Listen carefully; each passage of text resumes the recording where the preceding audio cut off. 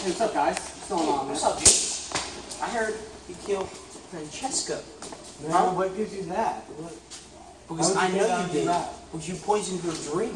Man, that's so. Lay off. That's not funny, man. You killed Francesca. We're Man. gonna get you for that. Take you and your hoe out of here. Ah.